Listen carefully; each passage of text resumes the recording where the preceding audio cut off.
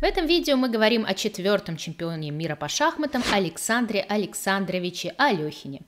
Или Олехине, тут уже можно спорить, и разные теории есть насчет того, как правильно произносить эту фамилию. Но это не меняет тот факт, что Александр Алехин был великим шахматистом, чемпионом, опередившим свое время. Он внес огромный вклад в развитие как шахматной теории, так и шахмат в целом. Выходец из э, богатой дворянской семьи, тем не менее, он много скитался по миру, он эмигрировал во Францию. Так уж получилось, что его жизнь выпала на годы войн, разрух, скитаний и непростых, непростых испытаний как лично для Алехина, так и для страны, в которой он родился, и для мира в целом. Но здесь мы говорим о шахматной составляющей таланта этого великого чемпиона для тех, кто хочет прочувствовать непростую эпоху, непростое время, в котором жил Алехин. Очень рекомендую фильм «Белый снег России», который я сама недавно пересмотрела, и в котором, как мне кажется, хорошо передается то, с чем пришлось столкнуться в своей жизни Алехину. Хотя в этом фильме лишь небольшой кусочек его жизни освещен. Но здесь, в этих видео, мы говорим о матчах на первенство мира и смотрим шахматные примеры из творчества великих чемпионов. Алехин обыграл непобедимого Хосе Рауля Капабланку в 1927 году, и лично мне очень жалко, что мы не увидели матч-реванш. Капабланка пытался э, вызвать Алехина на матч-реванш, но по разным причинам такой матч так и не состоялся. За свою карьеру Алехин сыграл пять матчей на первенство мира, упомянутый победный матч 1927 года, где он обыграл Капабланку, 1929 и в 1934 годах он взял верх над Ефимом Боголюбовым. Затем, неожиданно для многих и для себя, он уступил в 1935 году Максу Эйви, который стал пятым чемпионом мира, но в 1937 году вернул звание чемпиона, одержав убедительную победу в матч-реванше. Затем он долго мечтал о том, чтобы вернуться в Россию и сыграть матч с Михаилом Ботвинником, вел переговоры на этот счет, но так и не дождался этого и умер в звании чемпиона мира. Тоже единственный, единственный такой случай в истории шахмат, когда шахматный мир остался без чемпиона.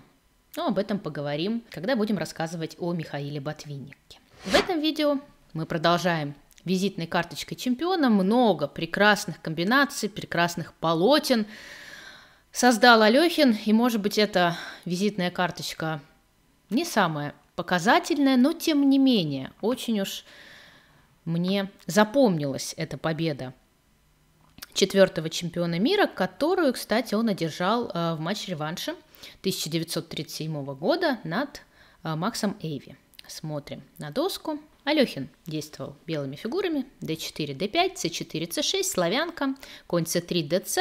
Здесь такой самый прямой ход e4. Эви играет тоже прямым ответом e5. И здесь следует домашняя заготовка. Слон бьет c4, внезапно играют белые. Ну, конь f3, наверное, гораздо проще. Но, тем не менее, оцените аналитические способности Алехина – то время он находит удивительную идею. Слон c4, ед, и идея состояла в том, чтобы здесь сыграть конь f3. И этот ход был сделан на доске и настолько ошарашил бедного Макса Эйви, что парализованный вот таким вот поворотом событий уже на шестом ходу он э, не нашел в себе силы побить на c3, а сыграл бы 5, и это явилось грубой ошибкой. Но справедливости ради, конечно, идея очень интересная, и на самом деле кажется, что после dc слон f7, шах, ферзь на d8, не защищен, поэтому королю приходится отступать на Е7. У белых определенная компенсация, но железное око сегодня легко эту компенсацию отбивает. После ферзь b3 шахматные программы современности указывают на вариант cb слон b2, ферзь b6. И здесь у белых нету достаточной компенсации. На слон g8 следует ладья g8, и выясняется, что после ферзь g8 провисает слон на b2, и несмотря на то, что король находится на e7, важный шаг ферзь b4, с тем, чтобы конь d2, ферзь бьет b2, белым, а, если они хотят сделать рокировку, приходилось бы отдать еще и коня.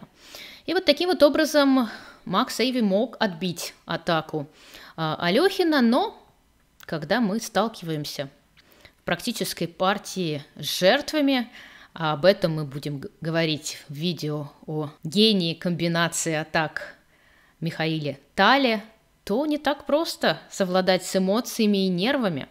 И вот следуют такие вот ошибки, нелепые порой, Б5. Что произошло со мной, я не могу объяснить, писал впоследствии Макс Эйви.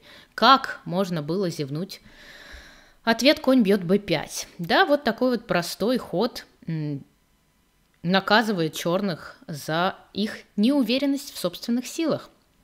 На ЦБ выясняется, что следует слон d5 и теряется ладья – в партии Эйви пошел слон А6, и здесь тоже очень точно, красиво э, Алехин довел партию до победы. Ферзь b3. Энергичной игрой, ни шагу назад, создается давление на пункт f7. После слон b5 следует слон бьет f7, и на король d7 конь бьет d4. Да, у белых не хватает фигуры, но король черных на d7 и скрыться от грозных слонов ладей, ферзя и коня белых ему будет не в силах. Поэтому партии последовал ферзь Е7, но тогда 0-0 следует вновь. Да, мы видим и обращаем внимание на тот момент, что э, ход невозможен. Ввиду слон d5 и на слон b7 следует ферзь бьет b5. Слон c6, слон бьет c6. И не хватает ударов на поле c6. Поэтому, поэтому побил Эйви коня слоном, слон бьет b5, и здесь вновь, вновь та же ситуация, что на cb следует ферзь d5 на сей раз, и ладья теряется.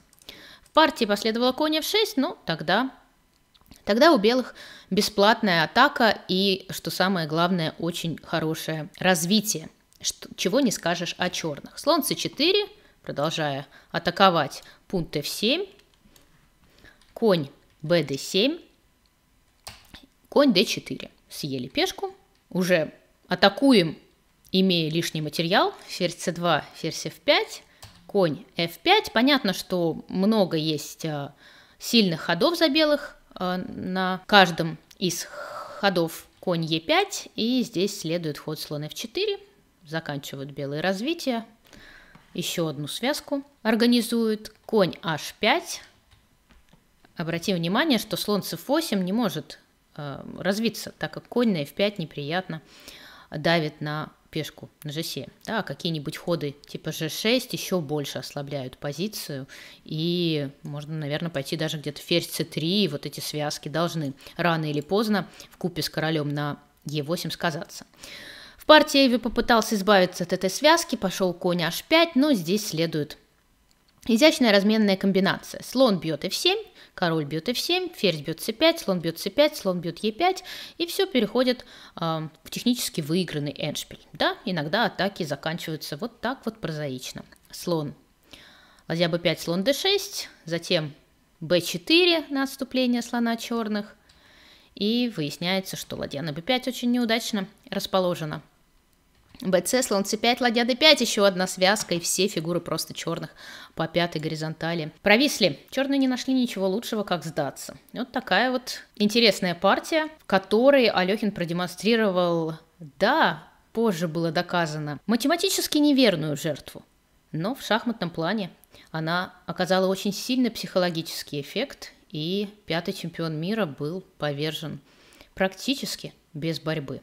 Заканчиваю на этом наш небольшой видеообзор о творчестве четвертого чемпиона мира по шахматам Александра Александровича Алехина. И жду новых встреч с вами, чтобы рассказать о следующих чемпионах мира. Не болейте, играйте в шахматы. С вами была 12-я чемпионка мира по шахматам Александра Костенюк.